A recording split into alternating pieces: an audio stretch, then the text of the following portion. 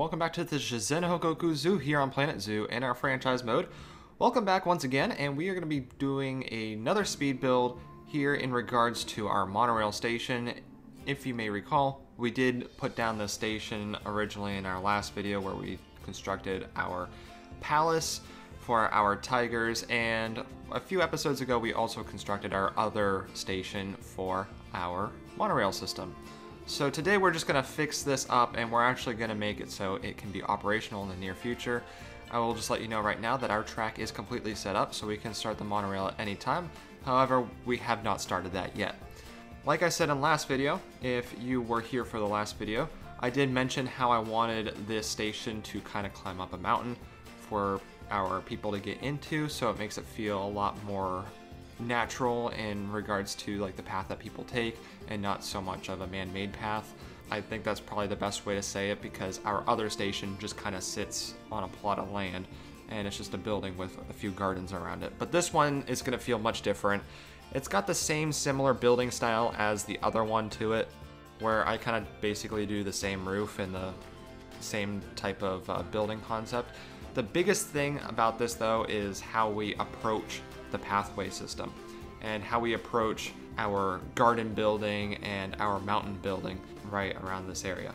So to start off with, we do build a path all the way down to our main pathway. So we do have a queue path and a regular exit path. They are on the same side of the building on the opposite side. So, you know, the side closest to the mountain. And the main reason why I did this was mainly just to get that really awesome view of our waterfall that we are constructing behind it. So as you can see, we have some placed water. We have, I think, three waterfalls in total that can be somewhat seen, if not fully seen, from the queue path along with the exit path. So this is really a great milestone in our zoo. Just like the last episode that we had, we had the Tiger Palace that we were able to bring into place. Now we can finally finish our monorail system. The only thing that we don't have finished with the whole monorail system overall is a really good viewing area. Now when I say that, mainly from this station to the next station, we do have an issue where there is just nothing nearby for guests to look at. So on the way over to the Gharial habitat from this station, you see nothing. And that's really a bummer just because we haven't really gotten anything down over there. We're gonna finish off that second habitat for our crocodiles, which I still intend to do, and I have some ideas about that, so we're gonna get through that at a later date. Now the concept for this pathway is that you're going up the mountain where it's still a little bit rocky just like it was over near our Tiger Palace, but we start to ease off of that idea just so we have more of a natural flow in between this area in comparison to what the rest of the mountain will be. So this is still more of a sort of sudden drop off area, but it starts to normalize around the slope around this area. But considering where this building is being placed, it's gonna be very rocky underneath this pathway in which we have elevated to enter the station and exit out of the station. So we make it seem like it's a nice wooden platform that people have to climb up on, which kind of makes it feel very woodsy, makes it feel like you're actually in an environment that you really can't walk around. So it's very rocky and it makes it seem like we actually added some pathways so people can transport themselves from one place to another in a more orderly fashion. We also do get some nice railings down. This was just part of the man-made idea, but we wanted to use natural material, uh, so mostly wood, more organic, which I thought was a lot better than using a lot of stone. We already have a lot of stone to this building, so I wanted to mix more wood into the build of this. And once we complete that, we head over to the river over here. I want to make sure we have somewhat of the foreground of the mountain done. Now, obviously this is supposed to be natural. I mentioned that last episode. This is a natural mountain. We are in franchise mode, so we don't we do have to use our own money for this, unfortunately. However, it's more of that natural feel that you want out of this mountain. It's not man-made to any regard, although obviously I'm making it, but the whole purpose is for this to be natural, so I'm trying to make it look as natural as possible. So we do end up adding some more rocks, and we always add in rocks toward our waterfall area as I think it makes most sense. I don't know really how else to do it from there. But what I wanted to do is make this area a little bit more special. And toward those rocks that I had over near the pathway, we actually make a, a little side waterfall, almost like one of those drip off areas. It's not where most of the water goes, but it's where some of the water goes just to kind of run off down the mountain and end up elsewhere.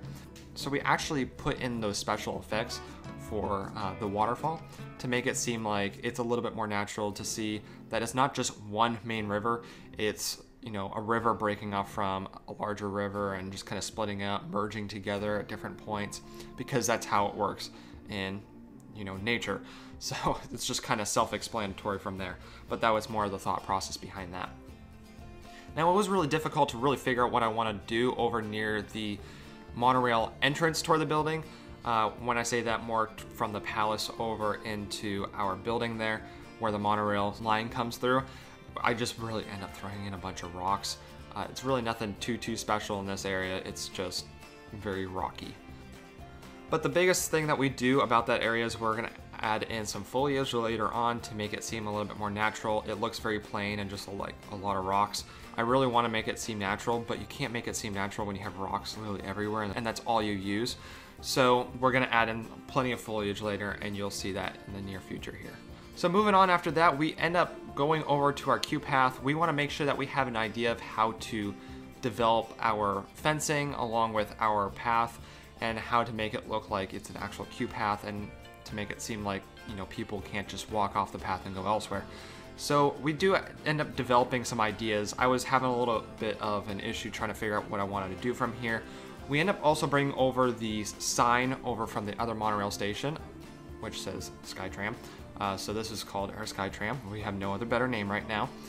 Let me uh, comment down below if you have any idea of what to call this Skytram. If you want to call it anything interesting, I'd like to see some suggestions. But we end up just throwing in the same sign. I am considering replacing that and adding something else to it because I'm not quite the biggest fan of it. I feel like it's a little dull, so I want to brighten it up a little bit.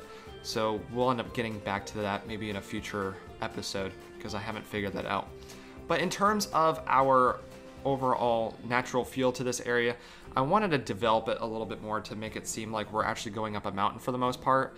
So we end up throwing in some rocks just to bring in some sudden elevation from our main pathway over to our queue path, which I think works out pretty well. And I want to make sure we get a fence going along the queue path as well. We actually use this type of fence that I have here and we end up having like three different fence ideas, which I thought was actually really neat. They're all made out of wood, so it's not like there's sudden variations, but it kind of makes sense why there's different types of fencing along the way. And you'll see that as we skip forward here to where we have our second fence design, which is just a shorter version of the other fence that I had. Then we add in a third fence design, which is adding in some thick wooden beams throughout the process. We end up doing this right in the middle for the most part. This is where I started off this idea, is because we got the pathways very close to each other and I wanted a better way to divide these areas. So that's what we end up doing here. We end up throwing in a bunch of pieces of like thick timber and we were able to throw it right in the middle there, which I thought worked out really nice for this design.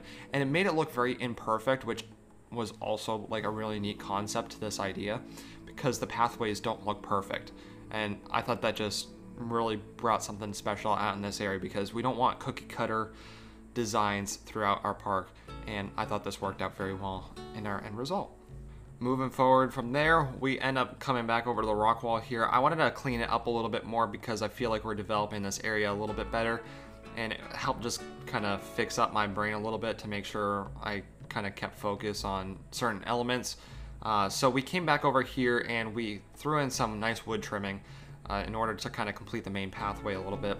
And instead of adding a fence, which I thought would be a little bit too much fence, we end up throwing in a little wood trim, which we end up filling up with some nice foliage afterwards.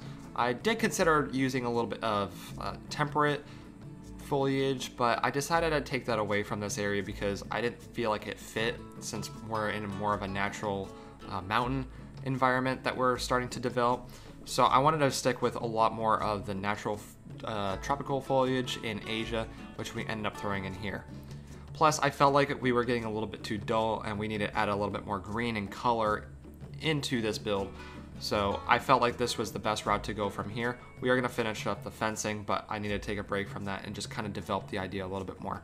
So we end up throwing in some bamboo right across the way near our building there, which ends up just kind of covering up the building a little bit, kind of just makes it so that you know you can't see huge buildings in the distance that you know are just kind of more operational more than anything. Since this building is themed, it can be seen from the distance, but I wanted to make sure places like our Japanese Tiger Palace was a little bit more seen than our monorail station on the mountain because I feel like that's very important for the design of our zoo. Not to mention we need to flush up the area in between the monorail station and our Japanese Tiger Palace so we end up throwing in plenty of more plants in that area as well. And just a little bit of a heads up, uh, you may have seen it a few times. I ended up building a little staff bridge over toward the end of the waterfall, over toward the crocodile habitat. And I want to build that second habitat like I mentioned before. Just a little bit of a heads up that I do plan on making a second habitat, which I think I did mention in that saltwater crocodile habitat speed build video as well. We do have an idea going on for that, so uh, I am trying to stick with this area a little bit, but I started to blend over a little bit and edit that area as well. I do go back and forth a few different times on deciding what kind of plants I want in certain areas. It was a little bit difficult because there's a lot of green plants when it comes to uh, tropical East Asia, and it's just a little bit difficult when you got so many green plants and you're trying to add in a little bit of color, but you're not getting in the color you want. But I'm trying to deal with it a little bit better, so we have a variation of plants that are green and kind of grow differently to make it seem a little bit more natural. And there's a lot of those purple flowers and we don't really have any other types of colors for tropical flowers and or tropical plants in general, I should say, in Asia. So it is a little bit of a challenge when it comes to that, which is why I've considered using some temperate plants. Um, but we try to stick away from that as we try to keep it for some of our specific habitats and other areas. Like I did say, this is more of a natural climb up to a mountain, so I wanted to stick with the theme a little bit more. Furthermore, we do come back over to this sign that says Skytram. Once again, I want to change the sign. Uh, so that is another thing that I want to deal with. But I was kind of developing this idea, since we have a lot of wood, I wanted to add some stone here and possibly add in some mulch. However, we don't finish this area because I'm not sure if this is the right direction I want to go from here. So we end up adding in the stone, and I was thinking about closing off this area and adding in some lighting to kind of fix it up a little bit. However, I didn't feel like it was the best way to go. Plus, I think I forgot to mention this, we do have this solar panel here. I needed to add it there because we do have a little bit of a power outage when it comes to the station, along with most of the pathways where we are gonna add in some lighting here in a few moments. So we need to add this in, and I wanted to add in a solar panel somewhere, but it kind of becomes a little bit useless in terms of look because it's covered by so many trees on the mountain. So let me know what you guys think about that situation. I may remove it, add in a generator somewhere else. So that is something that we'll try to look over in the future. Now we do kind of come to a close over here. I end up finishing a lot of the pathway. We end up bringing these timber logs down our exit path as well because I want to separate it from a lot of the foliage that we have over here instead of adding in just that basic fence that we had on the other side. So we do continue that all the way down the Japanese Tiger Palace as well. It looks very imperfect and it looks great. I think it looks fantastic for the pathway. Very simple, plain, basic look.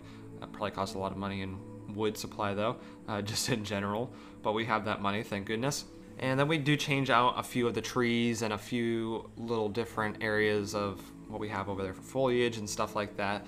But we also have to add in our lighting, so we end up throwing in some basic lights onto our timber logs. I was considering using some of the New World little lights, but I decided to stick away from that and stick with some of the basic lighting that just kind of sits in walls and just kind of is more functional more than anything.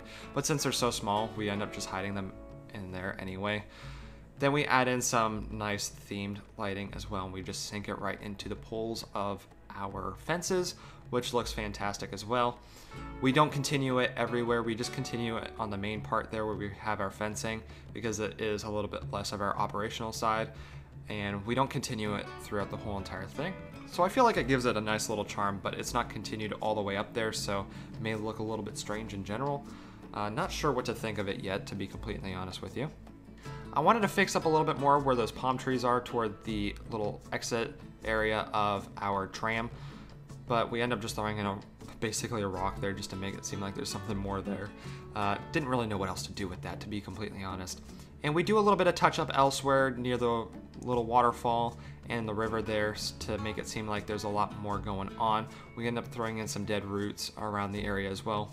I just kind of place them around in random areas just to make it seem like that there's a little bit more going on than just a bunch of stuff that's alive. So we want to make sure that this area looks a little bit dead too because dead plants also are very useful for little insects and creatures that like to feed off of dead plant matter as well. And then as you can tell, I come back over here and I kind of fix up some areas that I thought needed fixing. And we end up adding just some larger foliage as well to make it seem like there is a lot more to this area than what was thought out to be. So that's more of the more natural element to this, and it's not so much, oh, we put this here. It's more like this has been here for 500 years and we're just gonna leave it there, which I thought worked out really nice, to be completely honest with you. But other than that, there's really nothing else that we do with this area. I'm really happy that we do finish off this station. Let me know what you guys want to see next in the comments down below. Any suggestions, anything like that. I like to hear from you guys. Give me a thumbs up if you would like to help support the channel. I would highly appreciate it. Subscribe if you haven't subscribed already. And just one last thank you to our patrons. And if you would like to become a patron today, link is in the description below. Other than that, join our Discord, and I shall see you guys in the next episode. See you later.